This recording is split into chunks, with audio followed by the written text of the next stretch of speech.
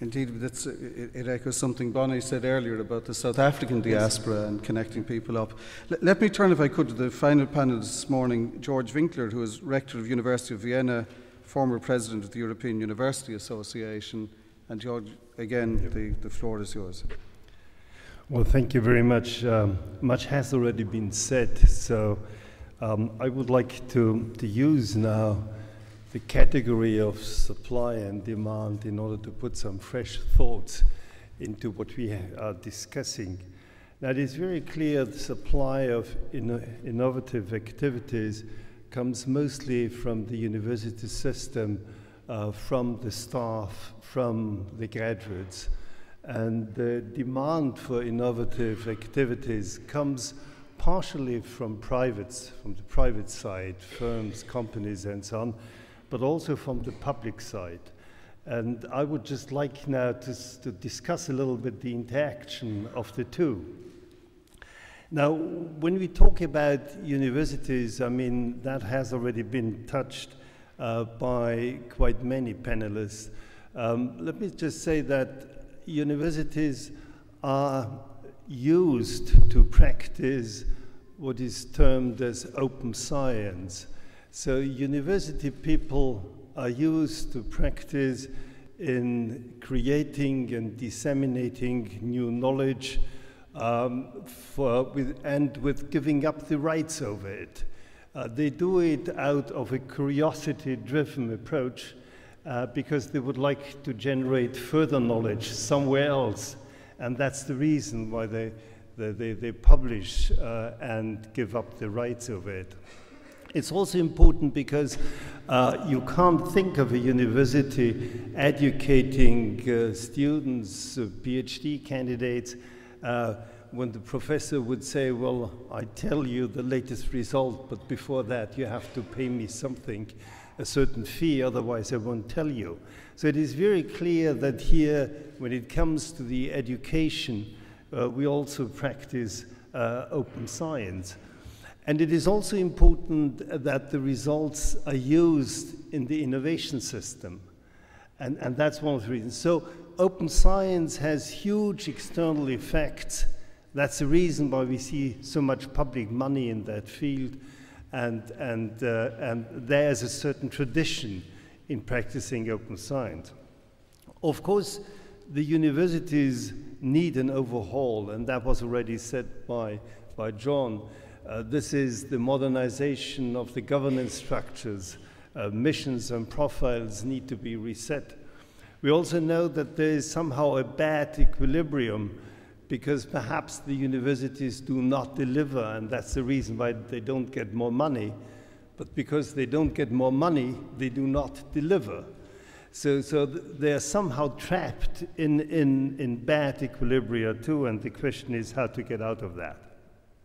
It is also very important that they go more for excellence, and that's the reason why, for example, the ERC is so important, and also, let me say, parts of the framework program, because they somehow set European standards of excellence, and it is somehow one of the, let me say, of the pities of the European research system that quite many people within the universities are full of illusions about excellence.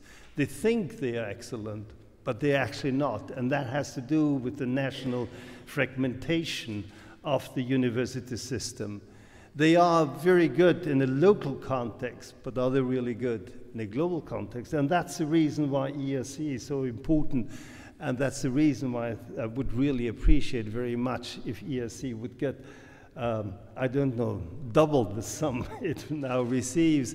And we should also allude to the American case of the National Science Foundation that was already mentioned by them.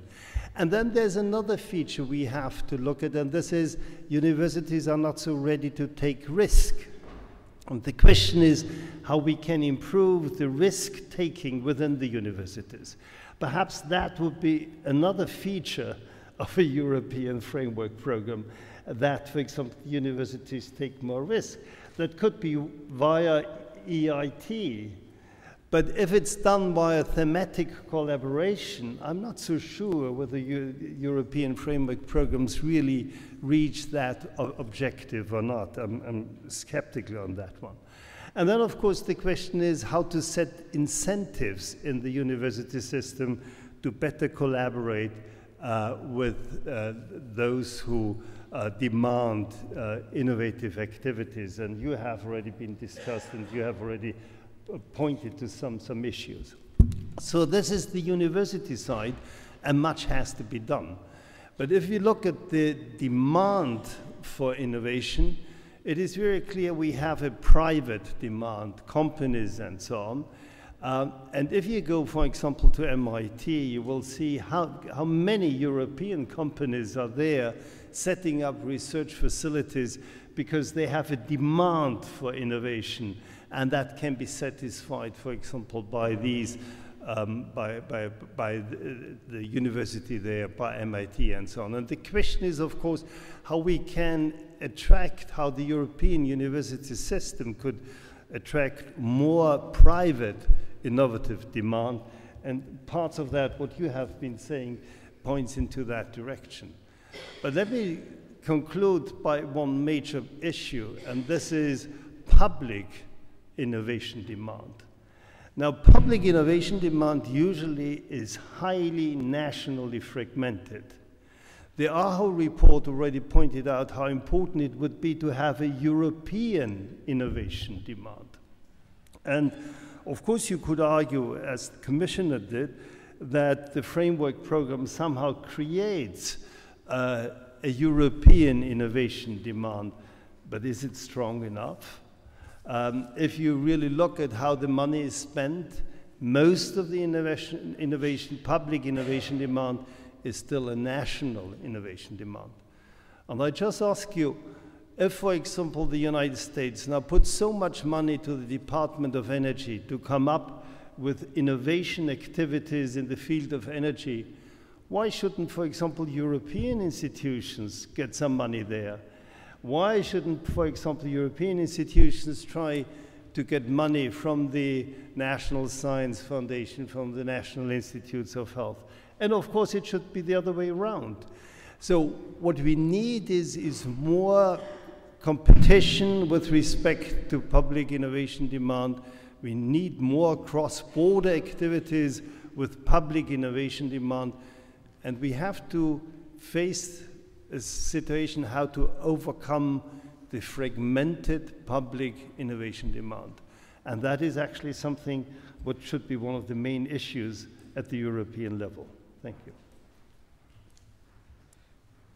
Thank you. On, on, just on, on that question, as you mentioned it, and, and to try to link it back, Jan Muehlfeit in his remark talked about huge sectors, say like healthcare, where in a significant way they're not yet technologically empowered, even, even with existing technologies, without even talking about you know, hugely innovative uh, future technologies.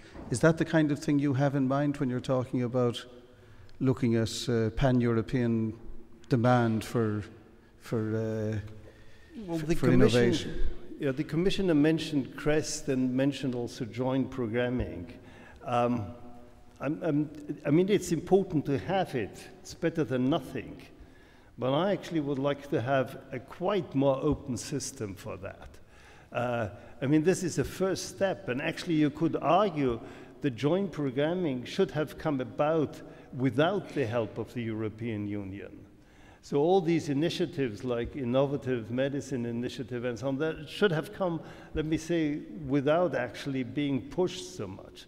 So what I just would like to say is, is here we have really um, a, a demand for creating a European-wide demand. Commissioner, do you have any response to that uh, thought? Oh, yeah. Many. no, I think uh, I think it's fair to say that when we talk about cooperation in Europe, sometimes uh, we tend to be uh, we tend to be quite, uh, we would like to go very far, which I very much appreciate. But uh, in fact, what we try to do via the European research area is first to remove all or majority of the existing